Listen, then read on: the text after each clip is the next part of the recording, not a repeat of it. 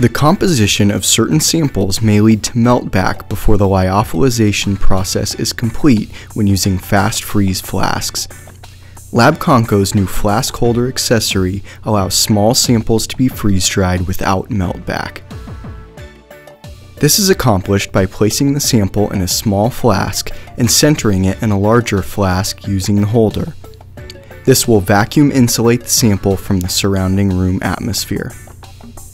The flask holders are available in two sizes, the smaller flask holder accommodates 40 and 80 ml inner flasks, while the larger flask holder accommodates 120, 150, and 300 ml inner flasks. Installation is easy. Simply place the flask holder inside the larger outer flask. Then, take the inner flask containing the pre-frozen sample and place it into the middle of the flask holder. After attaching the rubber flask top, the assembly can then be installed onto any FreeZone freeze-dry system using a flask adapter.